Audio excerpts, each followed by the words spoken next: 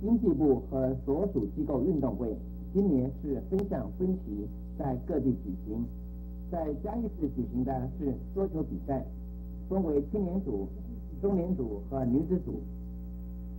参加比赛的有国贸局和商品检验局等二十个单位的三十五个球队，共有两百四十多名选手。各球队在攻击之下都有相当多的练习，所以实力都很不弱，比赛相当精彩。